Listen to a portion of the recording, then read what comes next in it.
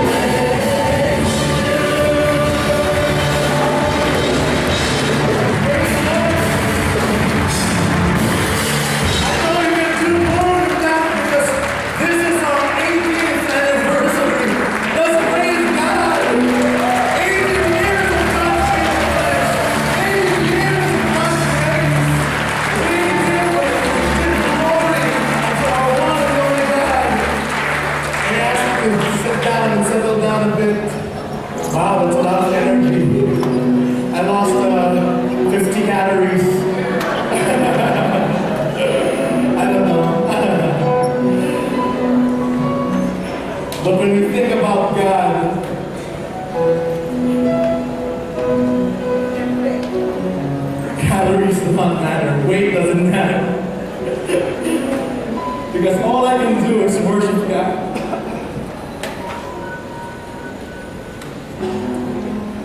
You want to honor God. You want to give glory to God. No holds barred. Giving thanks unto God. That's why I want to give you an opportunity. We as a church family time in silence. You are also free to honor. Give thanks to God. Give thanks to God for what He is doing in your personal lives, in our personal lives. Let's give thanks to God with how He has been moving the past 80 years. Let's give thanks to God for how He will continue to move in our midst in the years to come. For He has promised that He is with us until the very end of the age. He is never giving up, never leaving, never forsaking, never stopping and loving and forgiving.